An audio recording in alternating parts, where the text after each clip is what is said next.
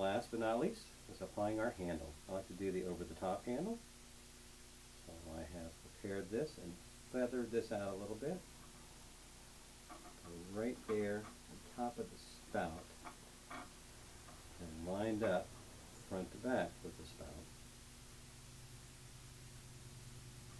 It's important.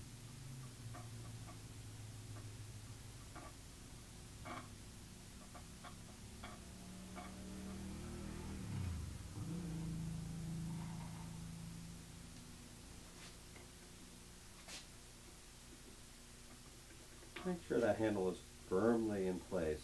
You might require putting a few little coils on either side of the handle to really strengthen it.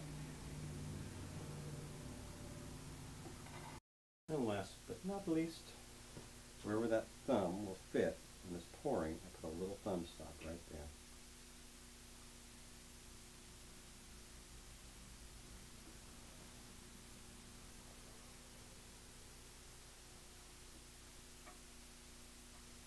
So, here we are. I'll put my lid on.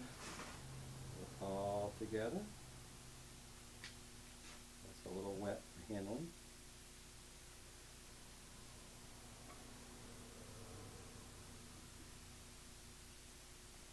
Go. And there's our teapot. It's been fun doing this series of teapot making. And I am back off on